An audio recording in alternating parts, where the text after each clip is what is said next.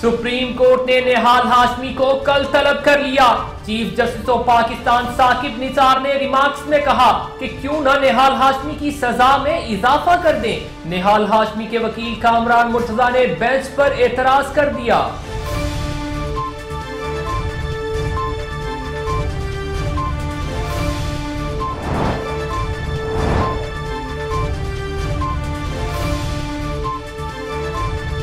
سربراہ عوامی شیخ رشید کہتے ہیں۔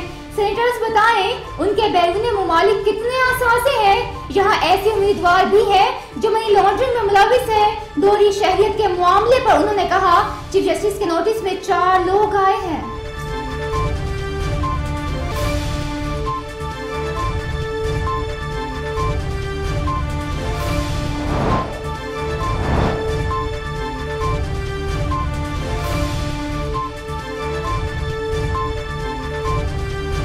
سپریم کورٹ نے توہین عدالت کیس میں وفاقی وزیر نجکاری دانیال عزیز پر فردر جرمائد کرنے کے لیے تیرہ مارچ کی تاریخ مقرر کر دی۔ کبھی ریاستی اداروں کی توہین کا سوچ بھی نہیں سکتا۔ دانیال عزیز نے سپریم کورٹ میں جواب جمع کرا دیا۔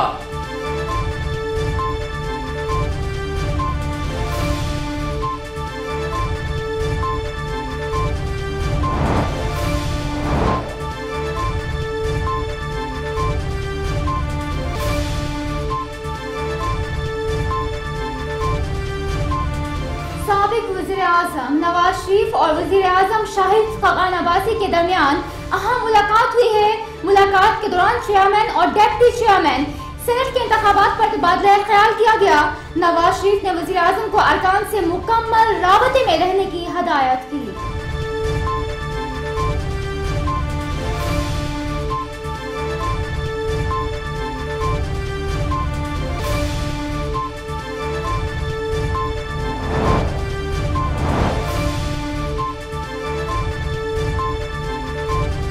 ایم کیو ایم کے رکن قومی اسمبلی رشید گڈیل کا ایم کیو ایم کو خیر بات کہنے کا فیصلہ۔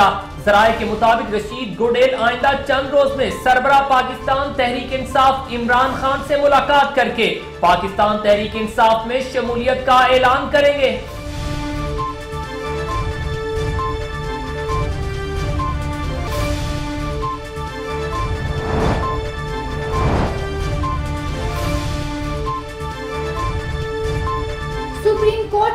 پر جعلی ادویات بنانے والی کمپنی کے مالک عثمان کو احاطہ عدالت سے گرفتار کر لیا گیا chief justice of Pakistan Saqib Nisar کی سربراہی میں تین رکنی بینچ نے جعلی ادویات سازی سے متعلق درخواست کی سماعت کی۔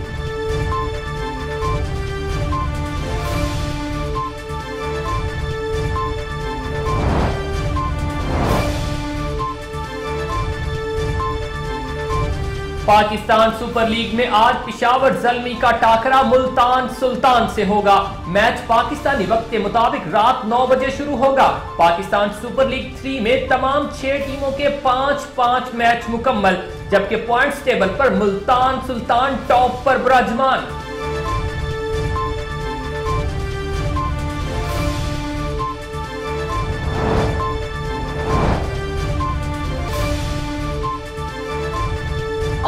بھارتی فلم انڈسٹری میں سو سے زائد فلموں اور ٹی وی شوز میں اداکاری کے جوہر دکھانے والی نامور اداکارہ شمی آنٹی اناسی برس کی عمر میں چل وہ طویل عرصے سے بیمار تھی۔